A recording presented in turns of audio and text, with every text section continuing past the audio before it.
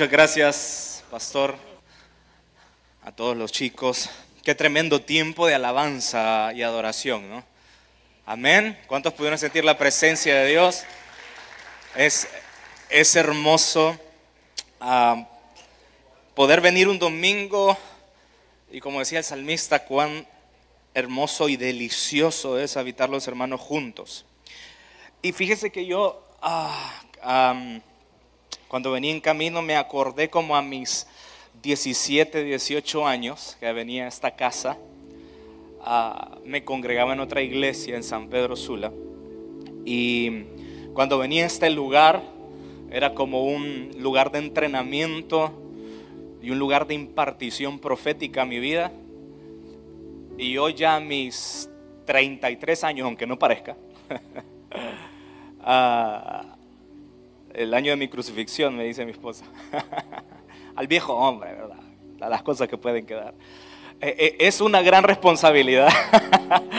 es una gran responsabilidad y una ah, enorme regocijo también el poder, cuando me sentaba atrás y recibía el poder hoy estar aquí adelante, así que lo tomo con, con mucha humildad pero también con mucha responsabilidad y sobre todo por el, el mensaje que la pastora me pidió el día de hoy de siloación.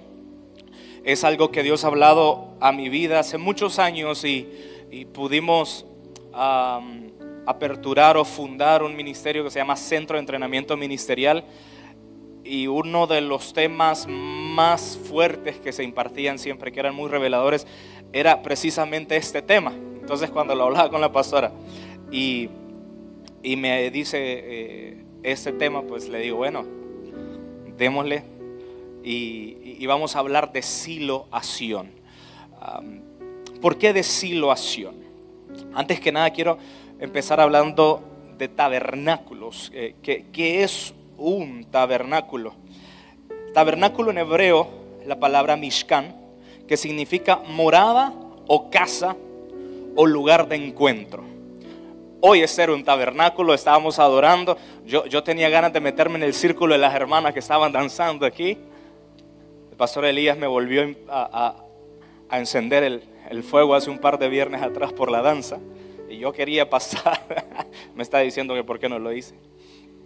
Pero eso es un tabernáculo, es un lugar de encuentro, es una morada, es una casa para Dios. Entonces, el tabernáculo era un modelo de las cosas del cielo y se menciona un poco más de 300 veces en la Biblia la palabra Mishkan, tabernáculo. Con una vez que Dios lo mencionara y era importante, pero más de 300 veces, es porque era algo muy importante, era un modelo del cielo aquí en la tierra. Y no voy a profundizar en, en todos los tabernáculos, pero hubieron tres muy importantes, que era el tabernáculo de Moisés. Usted recordará, por ahí le pedí a los chicos que me pusieran algunas imágenes para poder acompañar. El tabernáculo de Moisés pues, fue un diseño que Dios le revela a Moisés en el Sinaí, eso usted lo puede leer en Éxodo 25. Ah, representaba muchos sacrificios, mucho método, había una liturgia que cumplir, había un protocolo que llevar. En este tabernáculo entraba una vez al año un sacerdote en la fiesta de Yom Kippur y pues se dividía en el atrio, el lugar santo y el lugar santísimo. Tenía tres divisiones y en el lugar santísimo pues estaba el arca de la presencia de Dios que representaba la presencia. Ese era el tabernáculo de Moisés. Dicho sea de paso, en este tabernáculo, pues cuando entraba, solo podían entrar los sacerdotes. El acceso era solo para, para uno. Y lo vestían con sus vestiduras sacerdotales, que habían unas campanitas colgando al final de sus vestiduras, los ataban con una soga a la cintura. Y si por fuera escuchaban los demás las campanitas sonando adentro, era que el sacerdote estaba en santidad y no había caído calcinado por la presencia de Dios. Yo siempre me pregunto, a saber a cuántos nos seguirían sonando las campanitas hoy en el ministerio, si todavía viviéramos bajo ese, ese modelo, ¿verdad? Yo creo que muchos de los que nos paramos en los altares dejarían de sonar las campanas y tendrían que sacarnos arrastrados con una cuerda. Pero la gracia de Dios y del Hijo vino a nosotros para abolir todo pecado. El segundo tabernáculo era el tabernáculo de David, este era un poco más sencillo, ahí tenemos la imagen de Moisés. El de David era un poco más sencillo, era una simple carpa con el arca del pacto en ella, rodeado de adoración de familias, de cantores. Era sencillo. Y luego pues el último que se levanta es el tabernáculo o el templo de Salomón, que usted ya sabe, seguramente lo ha aprendido, ah, que era una edificación ostentosa, de mucho oro, mucha plata, mucho dinero, y, fue el lugar donde termina reposando el arca del pacto. ¿Y por qué comienzo hablándole de estos tres tabernáculos? Porque me llama la atención que de los tres, el más sencillo era el de David. El más sencillo era el de David. Y Dios dice que quiere restaurar el tabernáculo caído de David yo decía, Señor, ¿por qué no el de Moisés, que había liturgias, habían sacerdotes, habían hermosas vestiduras, habían sacrificios? ¿Por qué no el de Salomón con tanta belleza, hermosura, ostentación? ¿Por qué el de David? Y, hace muchos años comencé a estudiar y me encontré algunas ah, características de el por qué. Miren lo que dice Amos 9:11, en aquel día restauraré la casa caída de David, repararé sus muros dañados, de las ruinas lo reedificaré y restauraré su gloria anterior. El tabernáculo de David, hasta lo hemos cantado, ¿no? Tabernáculo significa lugar de encuentro y David significa amado por Dios. Si hay alguien que se llame David aquí, pues hoy ya descubrió que usted se llama amado por Dios. Entonces Dios quiere levantar, restaurar ese lugar de encuentro amado por Él. Ese tabernáculo de David que es un lugar de encuentro amado por Él. Es literalmente la casa que levantó David para Dios. Jesús es la raíz de David y Jesús en nosotros hace tabernáculo. En Hechos 15, 16, Nuevo Testamento, podemos encontrar también que Dios dice, después de esto volveré y reedificaré el tabernáculo de David que está caído y repararé sus ruinas y lo volveré a levantar para que el resto de los hombres busque al Señor y todos los gentiles sobre los cuales es invocado mi nombre, dice el Señor, que hace conocer todo esto desde tiempos antiguos. Dios está interesado en este tabernáculo. Y, lo hermoso, hermano, es que el tabernáculo de Moisés, que fue muy hermoso y es una sombra y figura y una tipología de Cristo en la tierra, eh, eh, es, es hermoso. Y cuando lo estudia a profundidad, usted ve a Cristo en absolutamente todo lo que era el tabernáculo de Moisés. Pero en Dios está el deseo de levantar el de David. ¿Y sabe por qué? Porque tiene que ver con acceso a los gentiles también tiene que ver con que todos tengamos acceso a su presencia, que todos tengamos acceso a estar delante de Él. Entonces David descubrió esto. Ah, Salmo 132, si lo tenemos por ahí, Salmo 132 del 3 al 4. Miren lo que dice. En David había un deseo, había algo que ardía en su corazón. David había algo que no lo dejaba dormir. Y dice, no iré a mi hogar ni me permitiré descansar. No dejaré que mis ojos duerman ni cerraré los párpados adormecidos. Ahora va a ver por qué. Siguiente en el 5. Dice, hasta que encuentre un lugar donde construir una casa para el Señor, un santuario para el poderoso de Israel. Hermano, ¿usted ha tenido algo en su vida que, le ha quitado el sueño? Quizás cuando estaba enamorado de su esposa, no, o sea, está. Todavía le sigue quitando el sueño a su esposa. Ya me quedo viendo a mi esposa. Quizás algún negocio, algún trabajo, algo que hizo que, quizás le estaba quitando el sueño o le está quitando el sueño ahora. ¿Sabe que Lo que le quitaba el sueño a David era construir un lugar para que Dios pudiera reposar. Era construir un lugar, dice, no voy a dar sueño a mis ojos ni a mis párpados al adormecimiento, ni me voy a ir a acostar a la cama tranquilo hasta que encuentre un lugar donde pueda descansar, Señor, en medio de la ciudad. Y el mover, lo que ardía, lo que atravesaba el corazón de David era encontrar casa para el rey de Israel. Y sabe qué? Eh, creo que venimos construyendo, la pastora Rosy hace unas semanas atrás habló de esto, la pastora Emma hace unos días atrás habló del tabernáculo.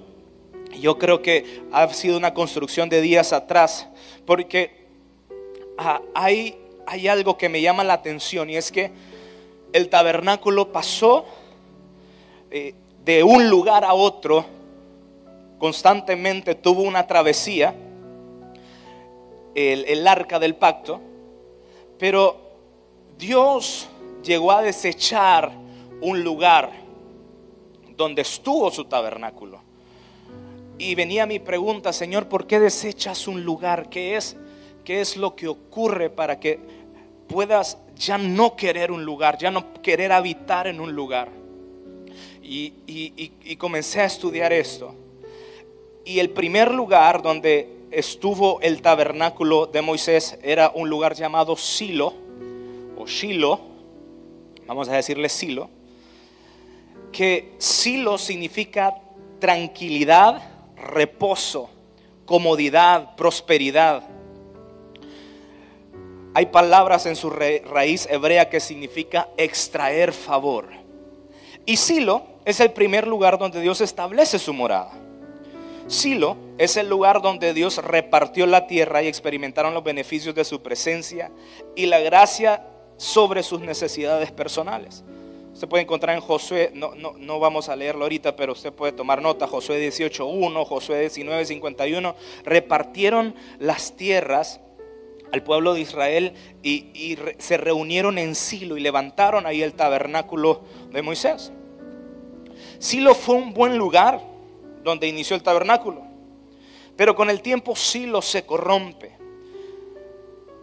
Cuando nuestra búsqueda de Dios se concentra y se queda en Silo, en torno a mi necesidad, nos encontramos en una ubicación espiritual donde fácilmente podemos corrompernos. Silo es un lugar que no todos tenían acceso, solo los sacerdotes y, sumos sacerdotes. Eso era Silo.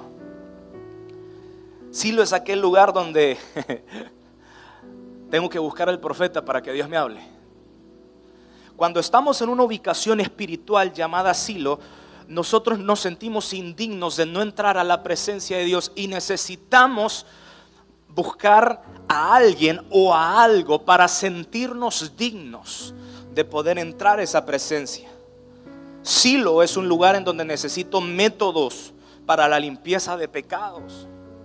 Recuerdo a mi abuela nacer en la religión tradicional y recuerdo una vez que su gran anhelo era ir a Esquipulas para andar de rodillas no sé cuántas cuadras.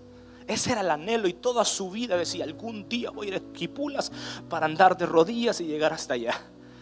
Porque ella sentía que necesitaba hacer eso para, para ser perdonada de pecados. Ella sentía que tenía que ser maltratada a sus rodillas para poder ser vista por Dios. Cuando viene y conoce de Cristo, entró a la plenitud de Cristo, en donde entendió que no necesitaba métodos o procesos, solo necesitaba un corazón dispuesto para adorar a Dios.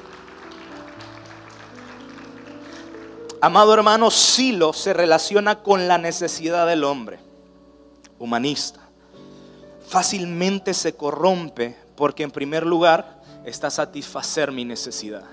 hoy muchos de los libros que se escriben cristianos giran en torno a la necesidad del hombre los 21 pasos para esto, los 10 secretos para esto, las llaves para la prosperidad. Y empezamos, y, parece que la iglesia la convertimos, en vez de, de, una embajada del cielo en la tierra, la convertimos en un lugar para, para motivar gente, para sacarlos de su ruina económica y hacerlos sentir bien. Cuando el Evangelio no se trata de hacerlos sentir bien. El Evangelio se trata de hacerme sentir mal con mi humanidad y decir, Señor, hay algo que yo tengo que sacrificar, hay algo que yo tengo que dejar para que crezcas. Entonces cuando estamos en silo espiritualmente hablando, hermanos, venimos a la iglesia, como decía el hermano hace un momento, de turistas, de cumplimiento. Cumplo porque voy, pero miento porque no vivo una vida de acuerdo a los estándares del cielo. Entonces, estar en silo es venir y mandar mi diezmo, pero ni siquiera ir a la iglesia, porque el diezmo funciona. A Dios no le interesa tu dinero, a Dios le interesa tu corazón. Mas buscad primeramente el reino de Dios y su justicia, y todo lo demás será añadido. Silo es un lugar de religión y dogma. Silo significa comodidad, estoy cómodo tranquilo aquí. No, que ore el pastor por mí. Lo voy a decir con mucho respeto y con mucho amor. Pero a veces estamos en silo cuando se invita un profeta y se llena. Uh, porque viene el profeta. Silo, necesito escuchar lo que Dios le dijo a otro. Mm. Silo es Solo el sacerdote tiene acceso, yo no. Yo no me preocupo que el sacerdote ore por mí. Es estático, no produce cambios ni transformación en las personas. En Silo la iglesia se corrompió con Elí y sus hijos.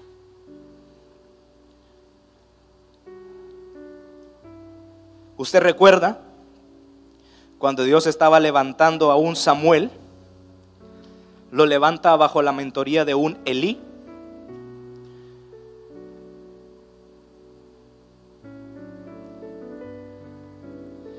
Eso lo podemos encontrar en Primera de Samuel 3. Primera de Samuel 3.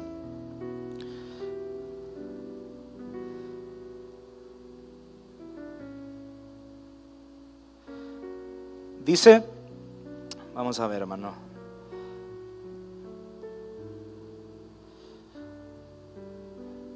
A ver, aquí estoy, le dijo, recuerda cuando Samuel escucha a Dios y se iba donde Elí le decía, creo que Dios me está hablando, y Elí le empieza a decir, respondele. Samuel significa esa nueva, esa generación profética que Dios estaba levantando en ese tiempo. Y en el capítulo 3, el capítulo 4, resume, de 1 Samuel, resume lo que ah, estaba aconteciendo en ese tabernáculo en Silo. En ese lugar los hijos de Elí estaban haciendo abominación delante de los ojos de Dios y Elí no, no, no hacía nada.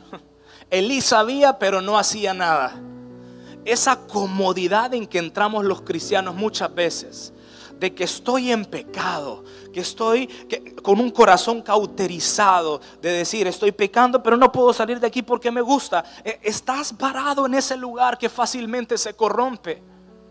E, eso de saber que mis hijos están haciendo lo malo y yo no meto ni siquiera las manos. Estoy en un lugar que fácilmente se corrompe y sabe que eso Dios lo desecha. Elí y sus hijos, Ofni Fines, estaban haciendo lo malo delante de los ojos de Dios. Y Dios viene y le habla a un muchachito, Samuel, y le dice: Hey, decirle a Elí que lo que está haciendo está mal. Y si no se comporta. ¿Por qué? Porque sí lo es lo que puedo extraer de Dios. ¿Cuál es el principio de la religión? Lo que puedo extraer de Dios. Buscar de Dios por necesidad. Por eso la gente adora objetos, adora santos, adora vírgenes porque tal vez esto puede suplir mi necesidad. Mientras que la necesidad del corazón de David era hacer una casa para que habites. Ese debe ser el anhelo de nosotros como iglesia, ser esa casa. Y quiero que me acompañe a Salmo 78 del 56 al 61.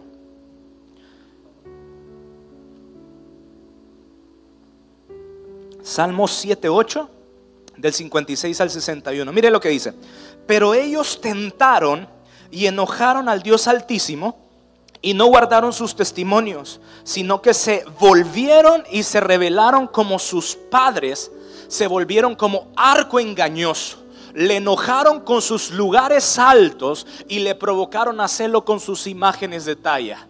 Lo oyó Dios y se enojó en gran manera y en gran manera aborreció Israel. Dejó por tanto, mire, el tabernáculo de Silo, la tierra en que habitó entre los hombres y entregó a cautiverio su poderío y su gloria en mano del enemigo.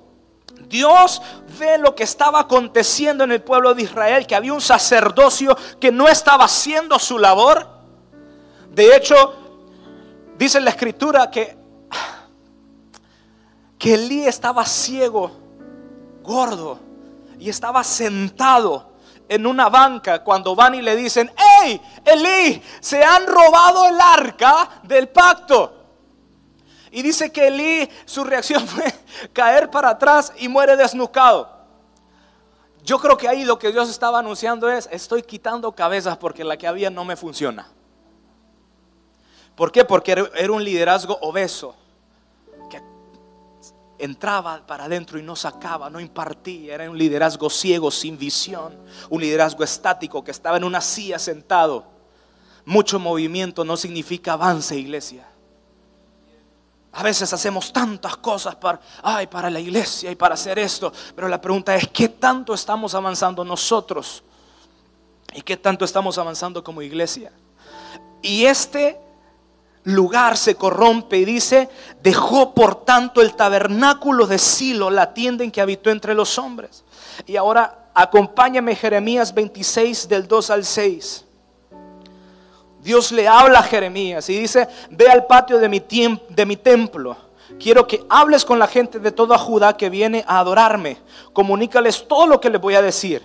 Si te hacen caso y dejan de hacer lo malo, entonces ya no los castigaré como había pensado hacerlo.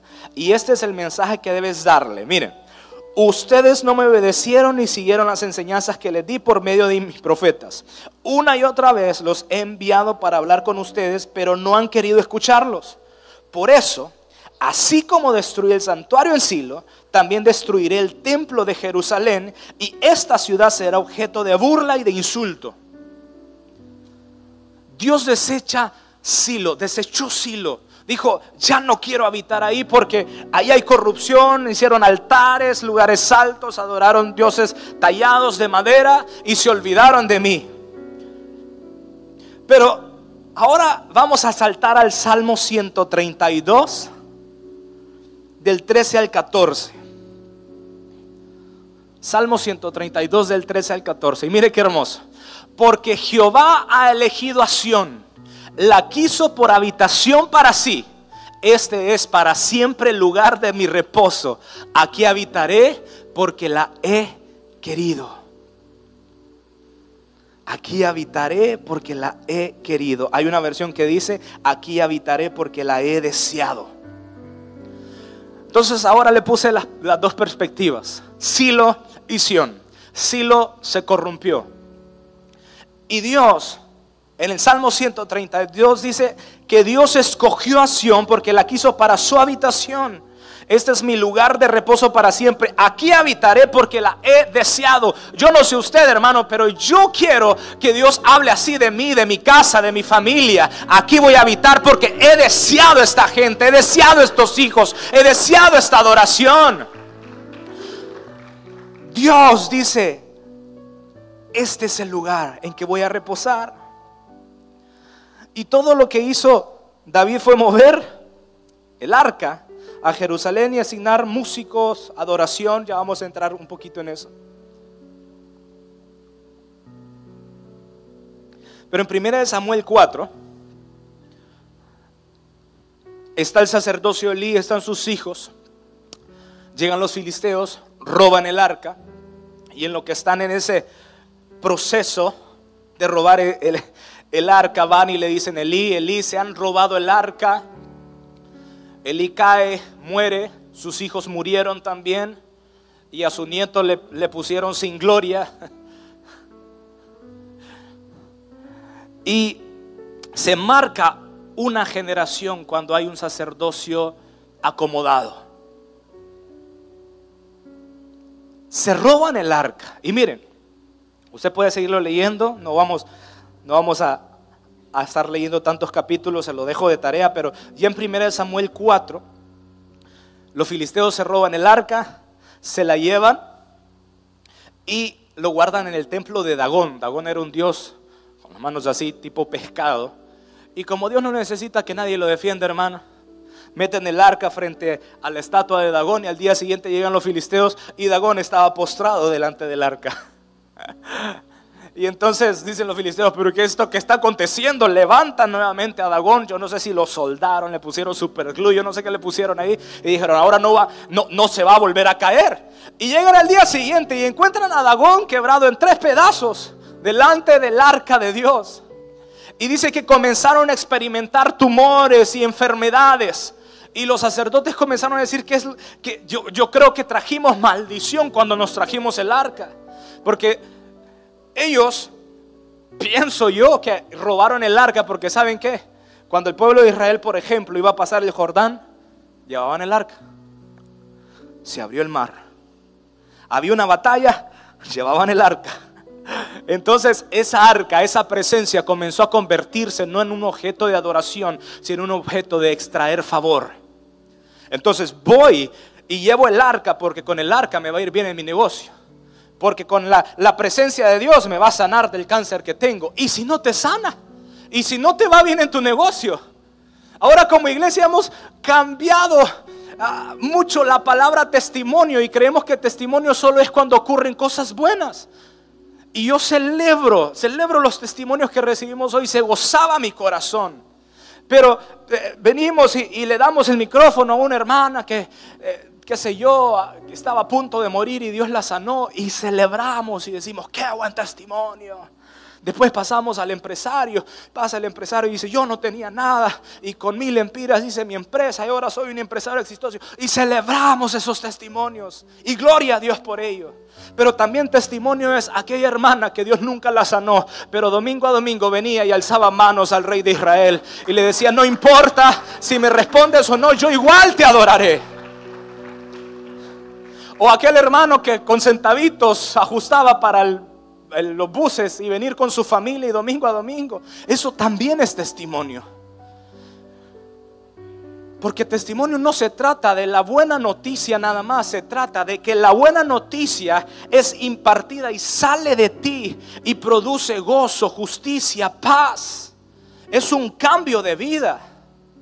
Entonces Dios nos está llamando de salir un poco de la estación de silo, donde solo vengo a la iglesia para recibir un beneficio.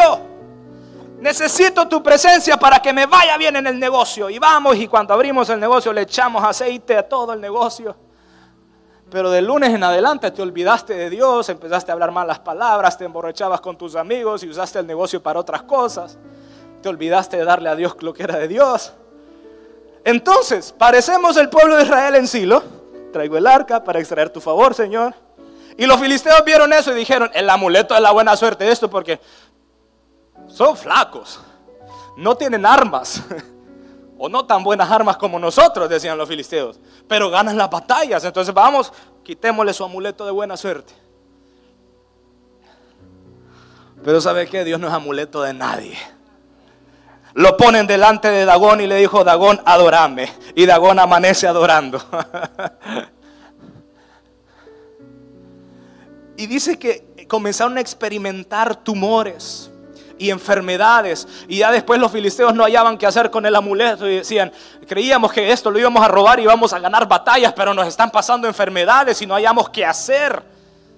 Y, dice que de, de, repente lo mandan, el templo estaba en Asdod y luego lo envían a Cron y se la mandaron allá los que vivían en Acron y dijeron, no queremos esto. Y los de Acrón dijeron, bueno, pasó, miren, en ese proceso siete meses el arca en los filisteos. Yo creo que Dios era como que, bueno, me mandan para allá, mandan mi presencia para allá. Y donde vaya, si, si no es mi pueblo, si no son mis hijos. Y los, de, los de Acrón comenzaron a decir, bueno, inventémonos algo.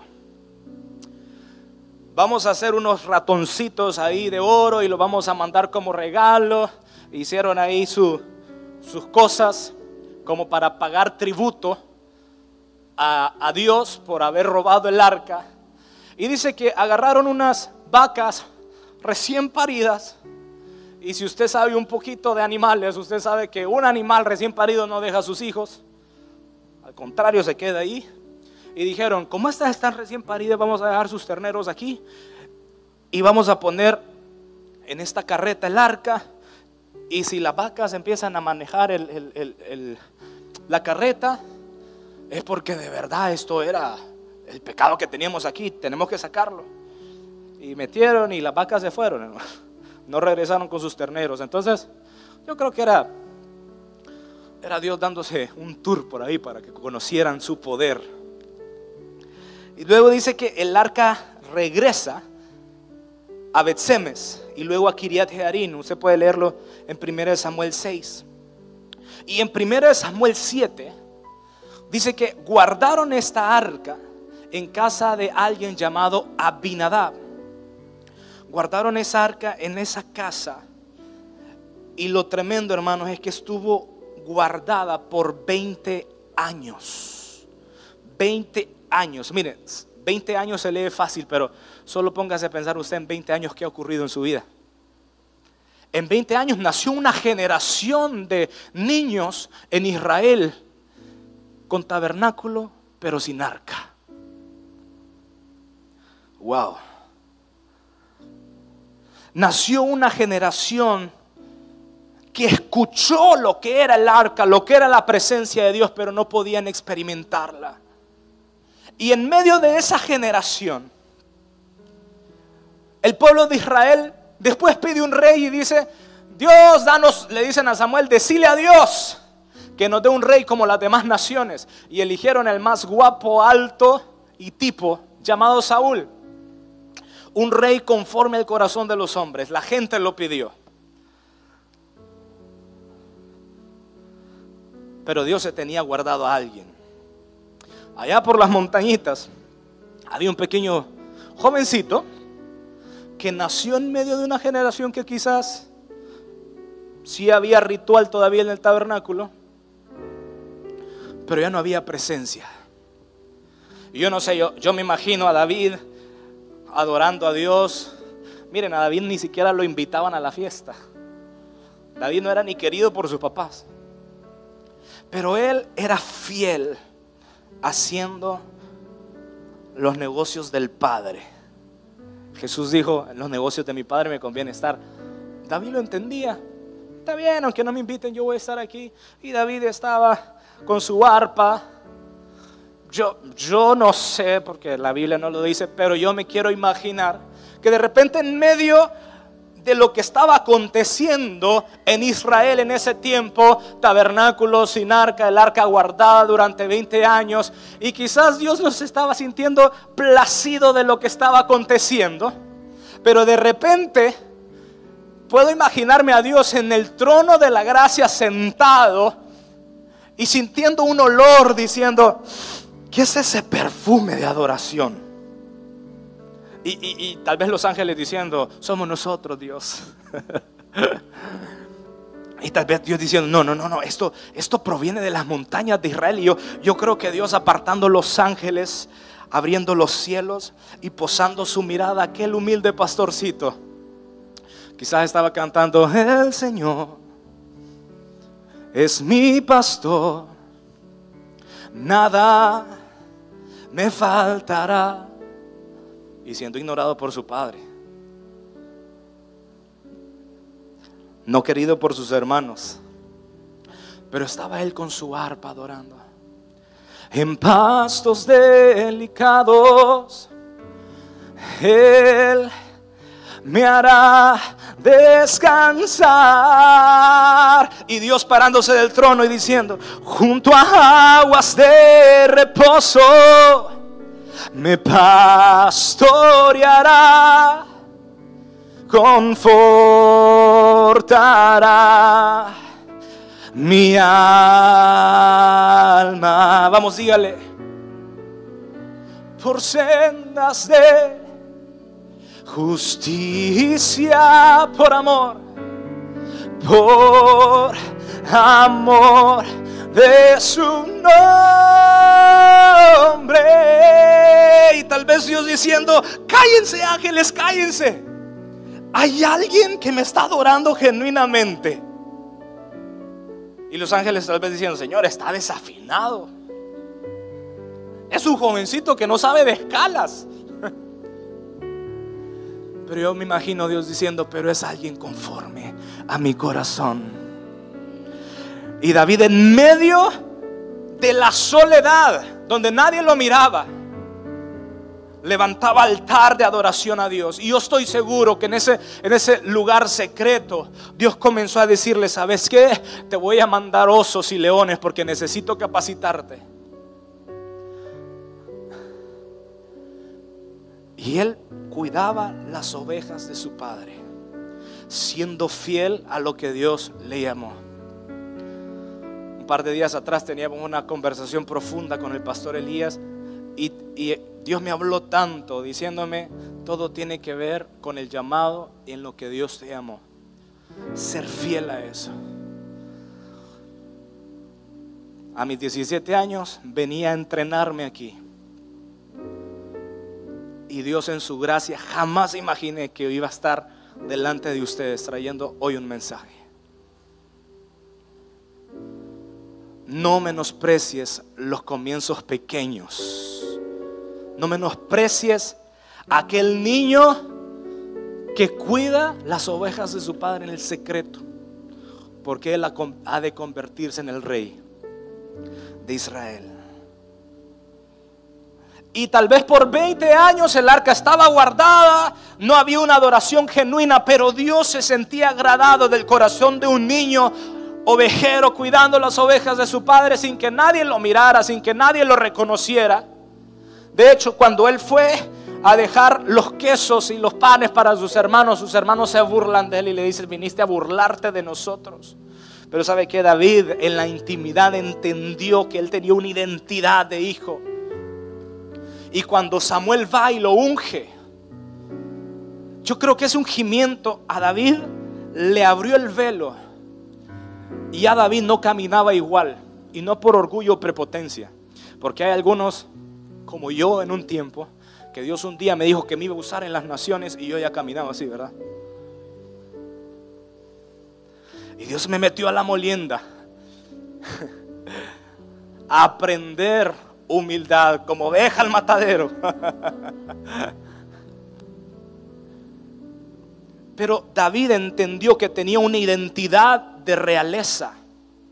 Y un día llega Samuel porque Saúl comenzó a hacer lo malo delante de Dios y Dios le dice a Samuel, decile a Saúl que lo voy a quitar del reino porque yo ya tengo a alguien. Porque así como no le estaba gustando Silo, no le estaba gustando el reinado de Saúl. ¿Sabe por qué? Porque Saúl comenzó a vivir de apariencias. Hay mucha gente en Dios que vive de apariencias. El domingo viene, se agarra la mano con su esposa y adoran a Dios y al salir del culto se van peleando. No sé por qué lo dije, pero... Hay gente que está viviendo solo de apariencias. Y, ¿sabe? Yo, yo creo que por eso Dios dice, a pesar de que David pecó más adelante con Betsabé y usted sabe toda la historia, pero Dios seguía diciendo, este es conforme a mi corazón. ¿Sabe por qué? Porque David no vivía de apariencias. Saúl era un hombre que, cuando Dios le dijo eso, Saúl no se preocupó por postrarse delante de Dios y pedir perdón, sino que le dijo a Samuel, por favor que no se entere el pueblo. No quiero que nadie sepa esto. Porque le importaba más lo que hablaba la gente. Pero David, hermanos, David era un hombre totalmente abierto, un corazón abierto a Dios, que comenzó a vivir en un gobierno de Dios a su vida. Que yo me imagino que cuando Samuel llega y lo unge, él comenzó a visionarse como un rey para la nación de Israel. Tanto así que va, derrota a Goliat y usted sabe, después lo estaban invitando al palacio. Porque dice que venía un espíritu malo sobre Saúl. Llegaba David, comenzaba a ministrar y Saúl era libre. Pero en ese tiempo Saúl comenzó a crecer en odio. Y Dios ya tenía a David y le dijo a Samuel, dile a Saúl que ya no más, que tengo uno preparado. ¿Sabe qué, hermano? Dios siempre tiene a alguien preparado en el secreto. Siempre va a haber una generación preparada en el secreto. Dios está levantando a alguien donde nadie lo ve, donde nadie sabe, donde nadie lo aplaude. Dios está levantando una generación como David que dice, Señor, solo quiero que me consuman tus sueños y es que habites en mí, que habites en medio de mi generación. Hay gente todavía llorando a un Saúl cuando Dios ya está preparando a un David. Vamos a olvidarnos del Saúl y vamos a abrir las puertas a lo que Dios va a hacer con esta nueva generación o mejor dicho, con esta próxima generación. ¿Alguien lo cree? Yo sí lo creo. Y mire, llega David, lo invitan a tocar al palacio y, y dice que Saúl le tiraba la lanza. Yo me imagino a David esquivándose los lanzazos de Saúl mientras tocaba y pensando por dentro, ay Saúl, lo que no sabes es que yo voy a estar sentado ahí. Pasa el tiempo, usted sabe que Saúl comienza a perseguir a David, luego a David lo, lo nombran rey. Y lo primero que hace David cuando es puesto como rey es ir a buscar el arca en casa de Abinadab. Entonces llega David, miren, cualquier político hubiera hecho un discurso, una fiesta para él mismo porque ahora era el rey. Pero David lo primero es, ok, me pusiste en lugar de gobierno, voy a cumplir tus sueños. Me pusiste en un lugar de gobierno, de autoridad. Ahora vamos a hacer tu voluntad, lo que el cielo quiere aquí en la tierra. Y fue y buscó el arca a casa de Abinadab y dice, eso lo puedes leer en 2 Samuel 6, dice que hizo una gran fiesta, invitó a todos los hermanos de Adoremos y, invitó a todos los ministerios de alabanza y dijeron, ¿saben que vamos a traer el arca de regreso? Hicieron una gran fiesta. Pusieron el arca en una carreta jalada por bueyes. Y dice que cuando venía el arca de regreso, David creía que estaba haciendo y dijo, ahora sí. Y David venía, venían haciendo la fiesta. El arca tropieza y había uno llamado Usa que toca el arca y muere calcinado, muere en el lugar en ese momento. Dice la escritura que se llamaba, ese lugar quedó llamado después Pérez Usa, porque ahí murió Usa. Y al ver eso, lo que era una fiesta se convirtió en otra cosa. La fiesta de traer la presencia de Dios de regreso a casa se convirtió en otra cosa. Y ya era parecía una parecía luto y dijeron, bueno, ¿qué hacemos aquí en este camino? ¿Dónde podemos guardar el arca? Y vieron por allá en una montañita una casa de un granjero humilde llamado Obededón. Y yo me imagino que Obededón estaba viendo todo por la ventana lo que ocurrió. Y llegan, le tocan la puerta. Obededón abre y le dicen, por edicto del rey vamos a dejar el arca en tu casa. y Obededón viendo el, viendo por atrás lo que había acontecido. Pero Obededom abrió las puertas, metió el arca en casa. Hermanos, si dice la escritura que todo en casa de Obededom prosperó en solo tres meses. Porque entró el arca de Dios a su, a su casa.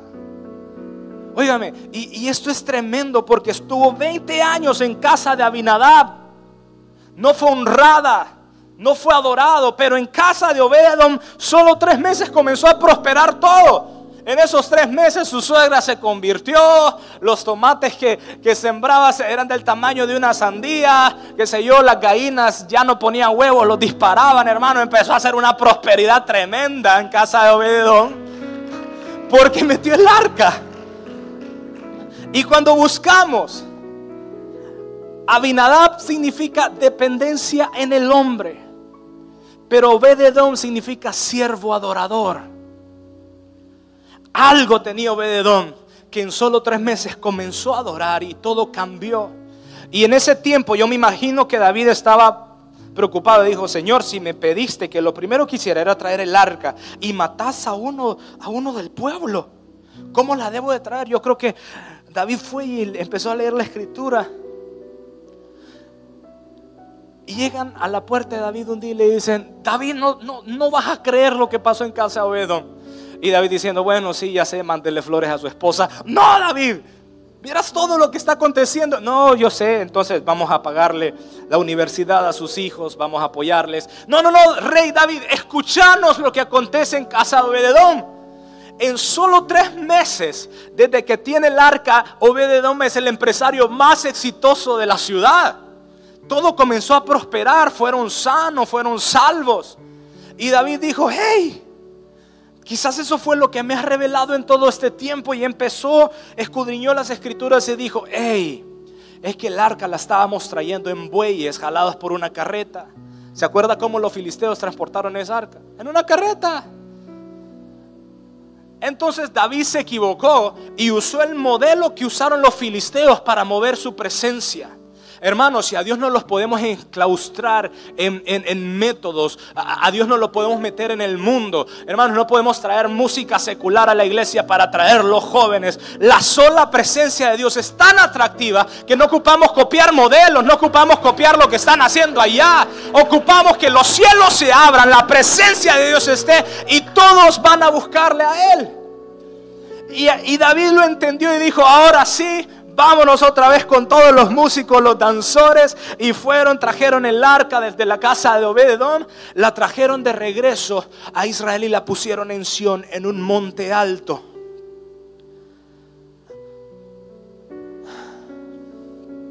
Hermanos, y en ese tiempo el sueño, el deseo que ardía en el corazón de David era, recuerda, no daré sueño a mis ojos ni a mis párpados adormecimiento hasta no encontrar un lugar para que descanse el rey de Israel. David levanta el tabernáculo de David, una, una, carpa sencilla, pone el arca ahí, pero pone familias adorando, adoración. Algunos dicen 24-7 leía de un teólogo que afirma que fueron 33 años de continua adoración en el tabernáculo de, Moisés, de perdón, de David. Al ponerla en Sión, yo puedo imaginarme que si había adoración en una montaña, la ciudad podía escuchar la música, la ciudad podía escuchar los cantores David organizó sacerdotes y levitas, 38 mil hombres. Estableció cantantes y músicos proféticos para ministrar a Dios delante del arca. Mandó a que el pueblo proveyera finanzas a los sacerdotes. David invitaba continuamente a las personas a la presencia de Dios. Todos podían ver el arca, no había velo ni separación. Este fue un tiempo de gracia y libre acceso a la presencia de Dios. En el tabernáculo de Moisés se tenía que adorar lo que estaba detrás del velo, pese a que nunca supieron exactamente qué había ahí. Pero en la tienda de David la gloria de Dios era vista por todos. Esto era sombra y figura, imagen de Cristo en la tierra. Separar el velo. Se rompió el velo. Ahora todos tenemos libre acceso a esa presencia. Pero ¿saben qué? David tampoco fue que vino y rechazó el tabernáculo de Moisés porque era un diseño del cielo. De hecho, el tabernáculo de David no vino a abolir el modelo De hecho, David nunca desmanteló el tabernáculo de Moisés. Es más, en Primera de Crónicas dice que él adoraba y asignó equipos de alabanza para ministrar en el tabernáculo en Sión, pero también en el, que, en el de Moisés que luego fue ubicado en Gabaón. David sabía que no podía abandonar la adoración ordenada a Moisés, que representaba también a Cristo. En otras palabras, él no descuidó ni renunció al ministerio del tabernáculo de Moisés. Lo mantuvo, lo honró y lo mejoró. Que también yo he conocido el otro día, hace mucho tiempo atrás, un conocido mío, un adorador que son de esas personas, hermanos, que solo abren la boca y parece que los cielos se abren con mucha gracia, mucha unción. Me lo encontré por ahí y le digo, ¿y qué tal? ¿Y todavía vas a aquella iglesia? No, ya ahí ya no me congrego, me dijo. Ay, ¿dónde estás yendo? No, no estoy yendo, busco a Dios en mi casa. Ah. Y, pero ¿y qué pasó? ¿Por qué saliste? Y me dice, no entendía, mi pastor no entendía de reino, yo ya estaba en otro nivel. Pues, quedaste en tu nivel entonces. Y a veces nos equivocamos porque Dios nos da un poquito de gracia y queremos abolir lo que nuestros pastores han hecho, el camino que han abierto, honrar la gracia de la generación que nos antecedió. Y yo sí creo que Dios no está levantando una nueva generación, sino una próxima generación. Porque muchas veces cuando decimos nueva, se puede entender que se, se va a abolir lo pasado. Y yo creo que, que, Dios está construyendo sobre lo pasado algo nuevo, como en escalones. Y la razón por la que David trasladó el arca del pacto fue porque comprendió el corazón de Dios. Él no quería estar escondido en un lugar de una colina, quiere estar en medio de su pueblo. Entonces David puso el arca en Jerusalén justo en medio del pueblo. Y ya hablar sobre Obededón es otra prédica. Pero cuando usted busca las familias que estaban en el tabernáculo, ahí figura Obededón con toda su familia. Y sabe que también esto significa la inclusión de los gentiles al reino de Dios. Porque Obed Edom era un gentil, ya que era geteo, no era un judío. Un geteo es un habitante de Gat. Goliat vivía en Gat y era geteo. En otras palabras, Obededom era un filisteo. Pero David profetizó que un día todos podríamos ministrar y adorar al Dios Santo. Era la imagen perfecta de Cristo en la tierra dándonos acceso. Dándonos acceso. Y creo que me pasé un par de minutitos, pero ¿sabe que hoy yo no sentía tanto de hacer un llamado y que pase enfrente. Porque yo creo que lo que Dios está pidiendo de nosotros hoy es, quiero un lugar donde habitar.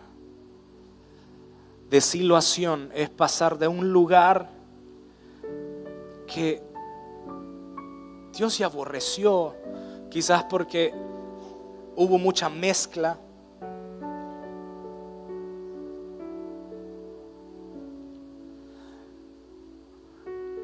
Y Dios quiere hacernos entender que en Sión, en Silo, no, no, no había acceso para todos. Había mucho protocolo, mucha liturgia. Y en Sión había acceso para todos todos podíamos entrar. Y los planes y las metas que nos trazamos este 2024 pueden ser muy buenas. Pero necesitamos de la presencia de Dios en todo lo que hagamos, en todo lo que levantemos. Hay una canción que, que me encanta, que la vamos a entonar ahorita en unos segundos, pero yo quisiera que ahí donde está, hermano, pueda cerrar sus ojos, inclinar su rostro y decirle, Señor, hoy hago mías las palabras de David. Cuando decía, no daré sueño a mis ojos ni a mis párpados adormecimiento hasta construir un lugar donde puedas morar, donde quieras habitar. Ven Señor, habita en medio de nosotros, habita en medio de mi casa, habita en mi corazón, gobierna mi vida Señor. Habita en medio de la ciudad de la Lima, habita en medio de San Pedro Sula, de Cortés, habita en medio de Honduras, Señor, de Latinoamérica. Abre nuestros ojos para poder ser ese lugar en donde quieras habitar, donde puedas descansar. Abre nuestros ojos, Señor. Queremos construir, queremos construir, queremos construir. Oh, yo quiero construir esa habitación. Yo quiero construir, quiero ser tu casa, quiero ser tu hogar, que puedas descansar en mí, Señor. Oh,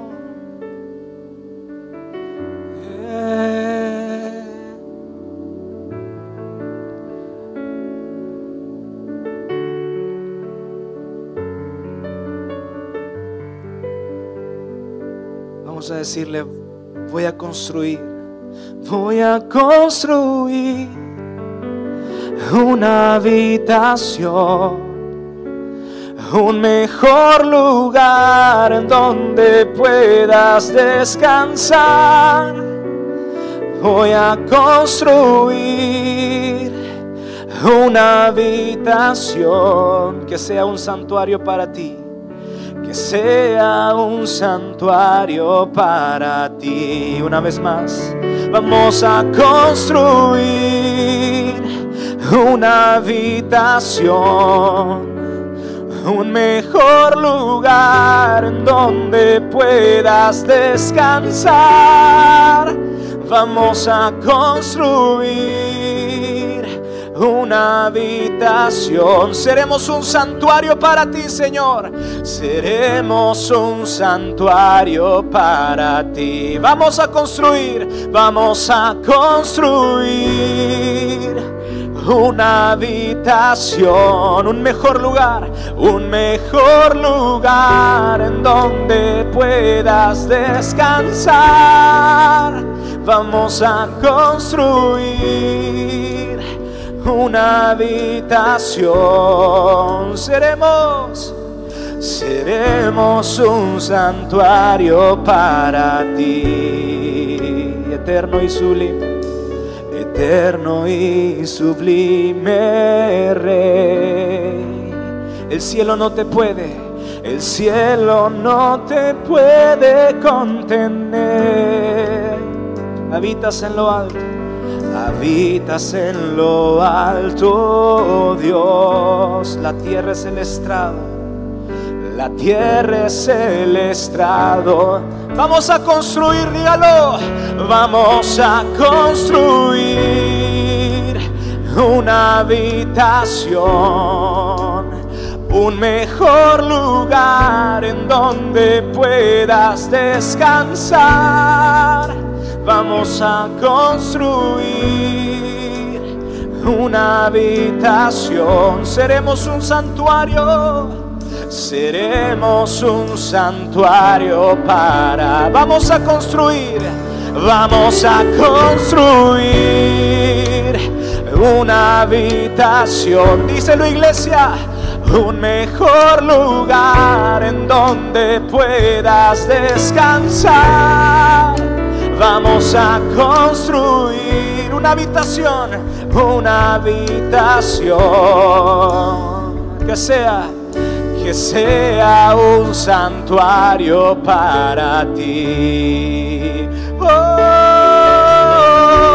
en piedras vivas escogiste habitar en débiles hombres tu gloria mostrar. Edificados en la piedra angular, somos tu iglesia, tu hogar en piedras vivas, piedras vivas escogiste habitar en débiles hombres, en débiles hombres tu gloria mostrar, edificados, edificados en la somos tu iglesia, somos tu iglesia, tu hogar. Somos tu tu hogar. Somos tu iglesia, somos tu iglesia, tu hogar. Vamos a construir una. ¿Por qué no te levantas y le dices, en donde puedas descansar, vamos a construir una habitación. Seremos un santuario, seremos un santuario para ti. Una vez más, vamos a construir una habitación.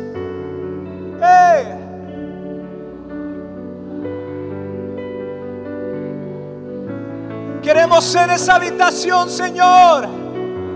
Ven habita en nosotros. Ven habita en nosotros.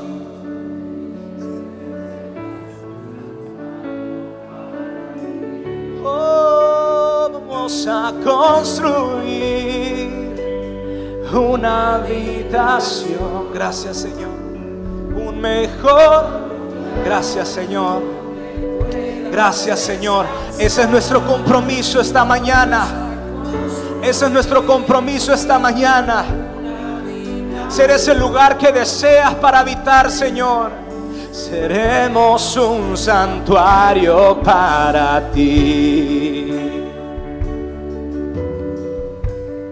un santuario para ti, Señor. Gracias, Padre, por tu presencia. Gracias, Señor.